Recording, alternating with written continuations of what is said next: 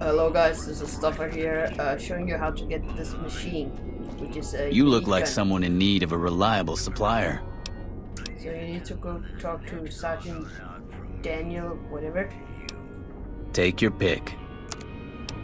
And I have already talked to him, but uh, you need to have. S- yeah, here. Are you implying I have some kind of secret under the table stash I only offer to certain clients? Because that could get a man in trouble.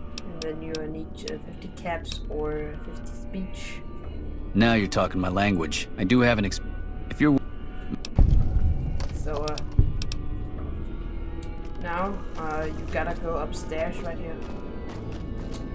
And you need to do that quest first where you uh, beat up uh, Silus, the Legion guy.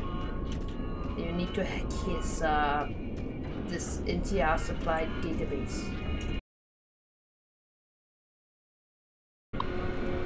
So to download Man- Manifest and uh, you can see there's missing some stuff here if you do the math.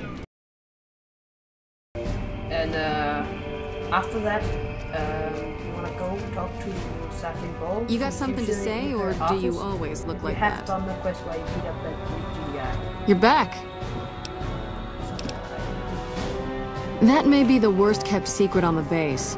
I'd be more surprised if you had proof he wasn't involved in criminal activity. But if you have proof, you're the envy of every MP stationed here. What'd you find? Little bastard. I'm sure some of those find their way into the hands of our enemies, too. Yeah, sure. All right, thanks for telling me. I'm gonna have him rounded up. Pretty impressive work there. Wish I could. But for help. Here. It's. Yes. So uh, you get Fang in uh, this machine.